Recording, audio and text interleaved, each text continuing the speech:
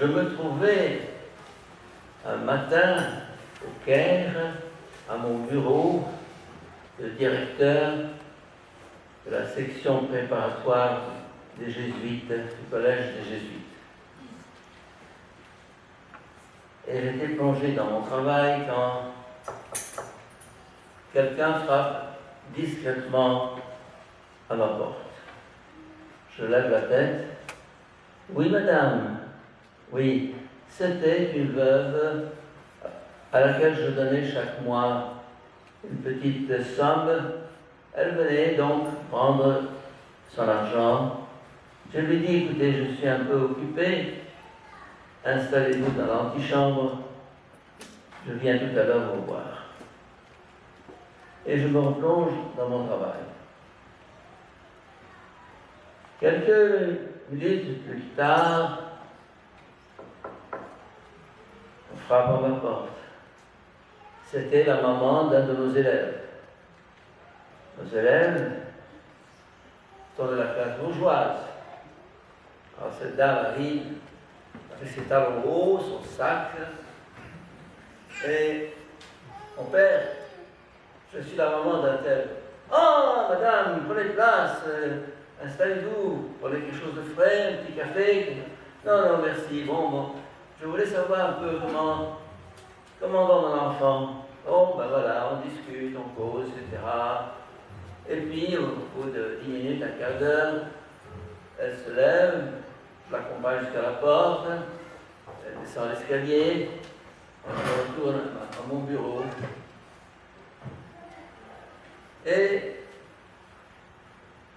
quelques minutes plus tard, mon père, m'avez oublié. Ah, c'est toi, excuse-moi. Bon, voilà. Euh, eh bien, je vais, je vais te donner l'argent du mois.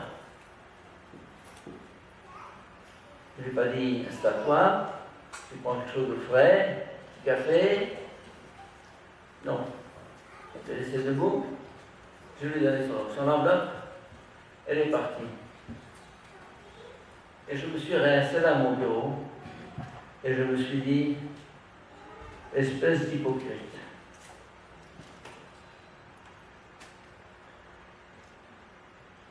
Cette pauvre veuve vient, elle est mal habillée, elle n'a aucun titre, sinon sa pauvreté. L'autre, madame, tout rêvé de avec son chauffeur qui l'attendait en bas, deux manières d'accueillir les gens. Moi qui sais bien prêcher, eh bien, je me suis dit, commence par te convertir toi-même. Vous savez, nous sommes prisonniers de l'apparence. Du vêtement, de la voiture. Vous savez, il y a des voitures et des voitures.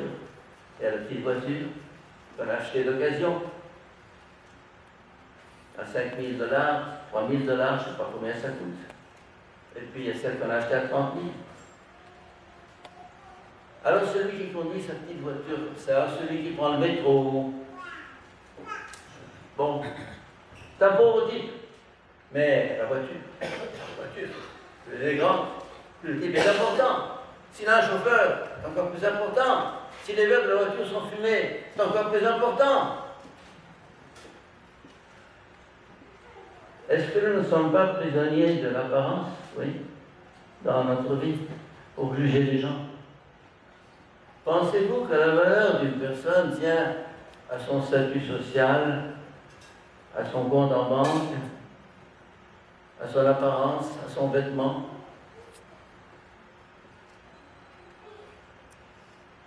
Ne sommes-nous pas prisonniers d'une certaine image de l'homme liée à son,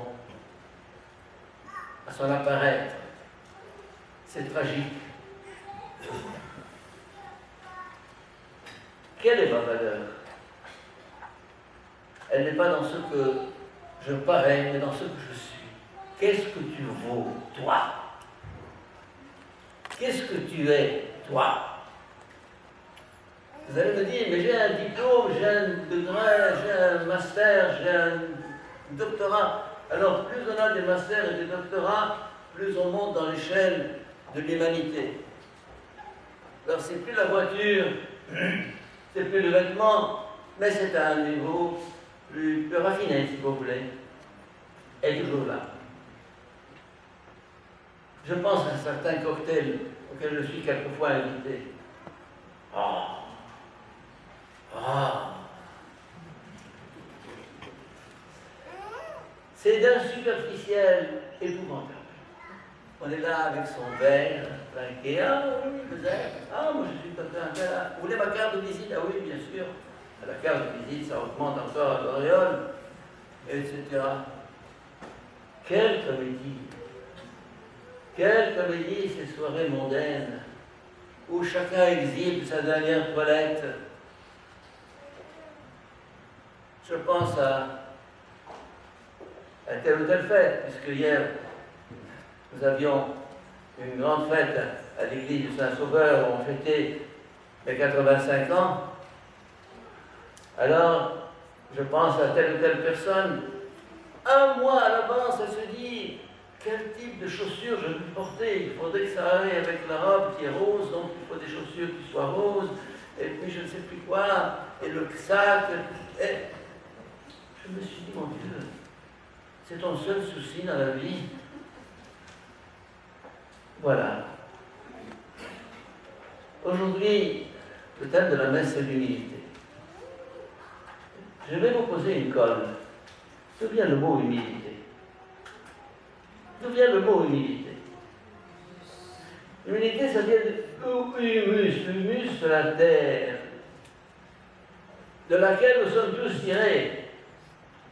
Tu es poussière et tu retournes en poussière. Vous comme moi, les jeunes comme les vieux, les femmes comme les hommes, les riches comme les pauvres. Humus. Et vous savez d'où vient le mot homme? Du mot humus. Parce que nous sommes faits de humus, c'est-à-dire de terre. Nous sommes des homos, des hommes, des êtres humains. L'humilité consiste à découvrir la vérité de ce qu'on est. L'humilité ne consiste pas à faire des contorsions. Vous savez, moi je suis rien, je suis un, je suis un. Non, non. Tu as ta valeur, tu as tes diplômes, tu as tes connaissances, mais ça n'ajoute rien à ta taille, à ta véritable valeur. Ça n'ajoute rien. Alors, aujourd'hui, nous sommes invités à l'humilité. L'humilité, c'est la vérité la vérité. Pas plus. Ce n'est pas des contorsions, ce n'est pas des simagrées. Non. Et alors, celui qui humble est simple, parce qu'il sait qu'il lève la tête, qu'il la baisse, qu'il soit mal habillé bien habillé, ça ne change rien sa valeur. Alors, aujourd'hui, posons-nous la question, quel est mon regard par rapport à moi? Mon visage, mon vêtement, mon apparence, mon apparence. Et quel est mon regard par rapport à l'autre et aux autres? Comment je regarde les autres? Comment je les évalue? Et là, en pensant qu'un jour, nous serons tous allongés dans un cercueil et il n'y aura plus de différence. Vous avez vu deux squelettes? Eh bien, essayez de me dire quelle était leur apparence avant de mourir. Ben ça ne change rien. C'est pour ça que beaucoup de saints, beaucoup de pères du désert avaient dans leur cellule un crâne en disant, au fond, ta réalité n'est pas au niveau de l'apparaître, mais de l'être profond. Demandons à Dieu cette lucidité sur nous-mêmes, cette vérité de notre regard sur les autres pour être dans la perspective de l'Évangile. Amen.